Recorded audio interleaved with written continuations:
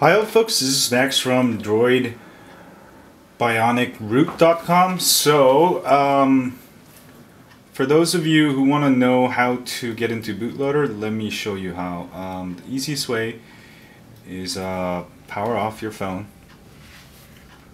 Alright, and uh, you can get into fastboot by holding down the volume down and the power button.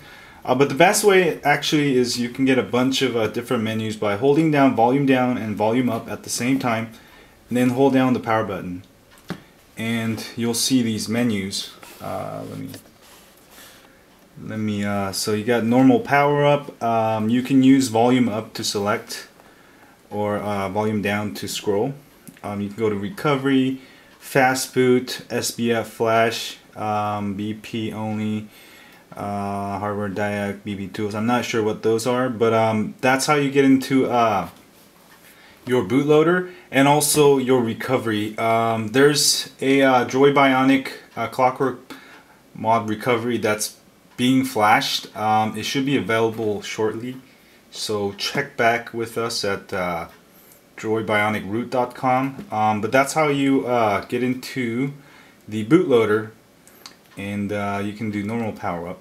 Um, anyway, thanks y'all and subscribe. I have a bunch of hacks coming to droidbionicroot.com. Thanks y'all and see y'all later. Subscribe.